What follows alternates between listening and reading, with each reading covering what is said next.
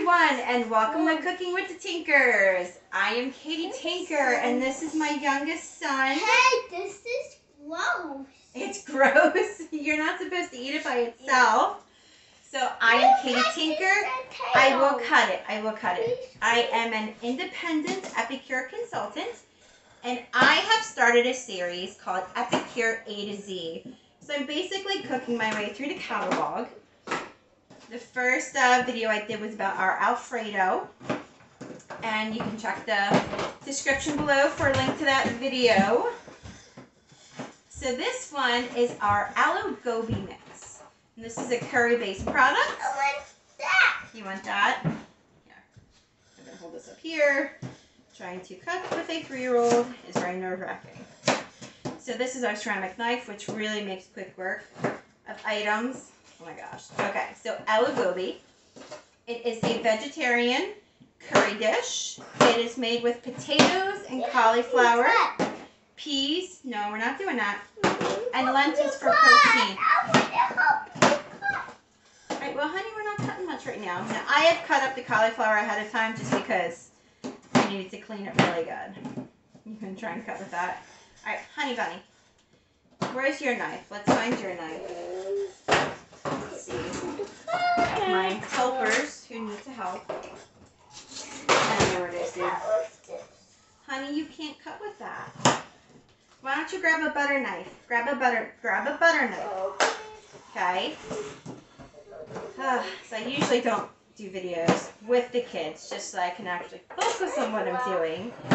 But no, that's not a butter knife. Do you know what it, this is a butter knife? This little one, okay? It's not sharp. Okay, you can cut that one, okay? So oh. first thing we're gonna do is chop up our potatoes and our cauliflower. I'm gonna cut the potatoes pretty small just to make sure that they cook evenly. Okay, oh wait, other way, flip it. That way. Now push. All right, I think that'll be better for you. So I already cut up my cauliflower. I'm gonna cut the potatoes pretty small and even so that they cook nicely. And I'm gonna use our multi-purpose steamer to cook them in the microwave. So they should only take about five minutes or so. And then if you want to save time, you can use frozen cauliflower, frozen potatoes. Them. Good, like a gem. Good job. So that'll really help cut down on the prep time. I am all about shortcuts. My new favorite thing is canned potatoes because it helps save time. All right, now I'm to put this back here so keep it away from little hands. All right, and then here's my cauliflower, four cups of cauliflower. We're going to throw that right in there. All right, how's that piece looking, bud? Is that all done? No? All right, wait, remember, flip it over. See that little scratchy part? I'm to put that there. Honey, you're like cutting it, you're cutting it like super teeny.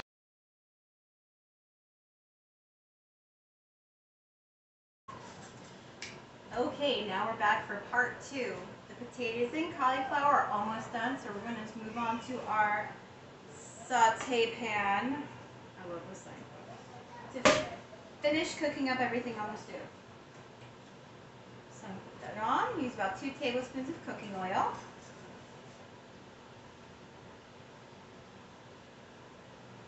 Yeah, I didn't measure. And then we're gonna add our seasoning. Okay. Medium high heat. Add seasoning. Stir until fragrant. About 45 seconds. Add potatoes and cauliflower. Stir to coat. Then we're going to put in a can of lentils for our protein. Now, if you don't like lentils and you don't want to keep this a vegetarian meal, you can absolutely use chicken or whatever protein you like. So I'm going to throw this in. Mix this up really good.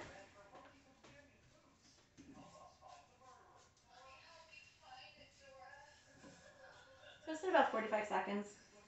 So a little bit about Epicure, if you're still with us. Thank you. Epicure is a Canadian company that just recently came to the United States about three, four years ago. So we can serve customers in the US and in Canada. And the thing I like most about Epicure is they focus on quality ingredients. not just everywhere. So you're not going to find any artificial colors, flavors, sweeteners in our food. Everything is made with clean ingredients that you can recognize. What's in here? So we have spices, garlic, onion, chili powder, tomato, mustard, sea salt, cilantro, black pepper. Can't get more easy than that. So there's no preservatives, no junk in our products, and I love that. And the biggest thing for me was everything is gluten and nut free. So I don't think I mentioned that in the beginning because it was a little chaotic with all my children running around and going crazy. So let me stir this up. Make sure I don't burn it because that wouldn't look very good, would it? Are we fragrant yet? We're getting there. Uh-oh. I had medium low heat. It was not medium high heat. So, and now we're going to play the game to see who finishes first, me or my phone battery, because my battery's about to die. Does that happen to you? You know. Alright. Whoop. Out. Be careful because this gets very hot. And do I? There we go. Alright, so I'm going to assume these are done by now. Dump that in there. Sizzle, sizzle.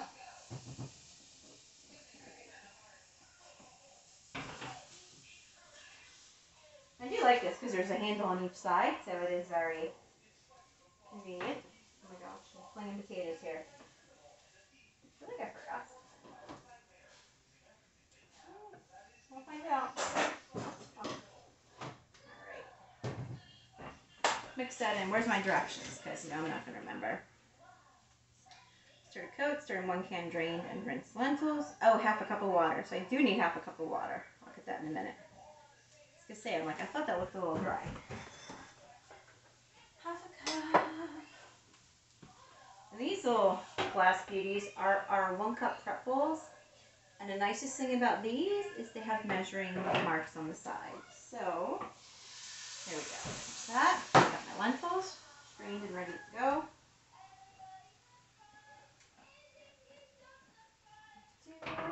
And all this stuff can go in the dishwasher, which is really nice because you don't want to have to do a whole lot of cleanup after you're done cooking.